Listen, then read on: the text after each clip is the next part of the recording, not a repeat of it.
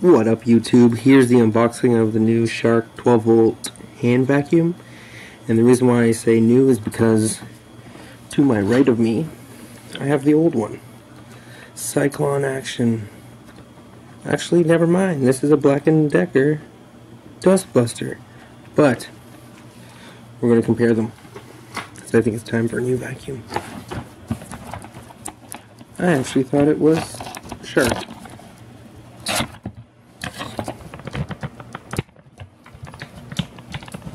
Lift this camera up.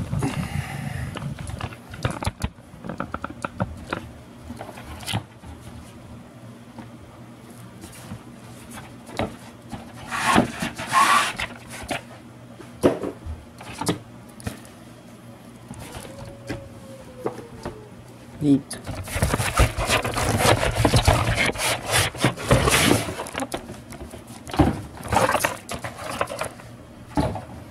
Now they're both rated at 12 volts. But over time when you charge them, they don't hold their charge anymore.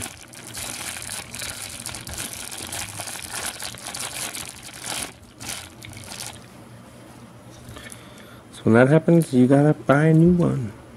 They last for a couple years. This one was 30 bucks on sale Crappy Tire. Unfortunately, was the only place that had the deal. And if you watch my other video, you know I don't like shopping at Canadian Tire. Let's see if this thing comes charged. Oh, I put a little stoppy in.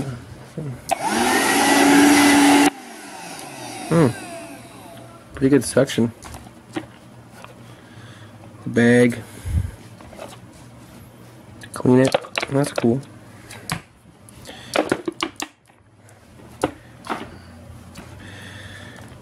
This one's got an adjuster seen better days. The lid's not as big as this one.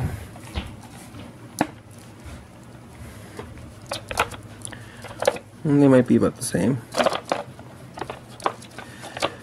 Let's see if Shark's a good brand. I don't really think they are. Black & Decker's a pretty good brand. There's that. Or this.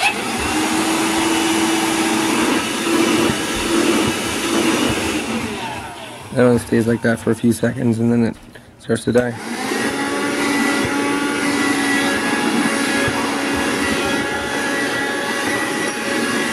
But this one probably stays like this for a while. Hmm. Away we go. there you have it. We'll charge light right here, so I'm guessing it turns green when it's fully charged and red when it's charging. There's the adapter, and this one takes a little stand. You just slide it on.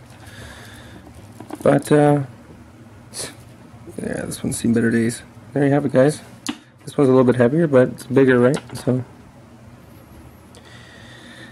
just the design's a little different. Hope you enjoyed that vacuum review. Get your small vacuum now. Doodles. Like and subscribe for more videos.